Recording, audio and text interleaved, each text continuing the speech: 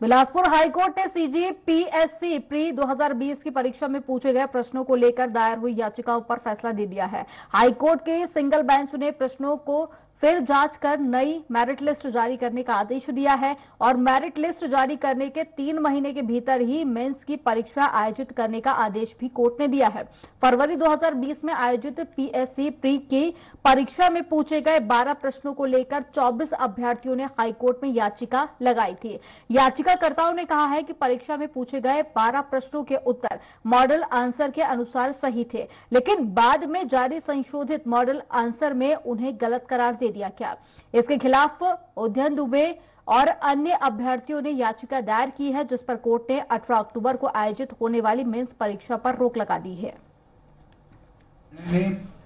Set क्रमांक ए के प्रश्न क्रमांक दो 76 और 99 को त्रुटिपूर्ण मानते हुए कोर्ट ने उन्हें डिलीट किया है एवं पीएससी को निर्देशित किया है कि उक्त जो प्रश्न है, उनके जो उत्तर है, उस पर पुनः एक्सपर्ट कमिटी से नवीन उस पर जाँच करवाई जाए। चिंदवाड़ा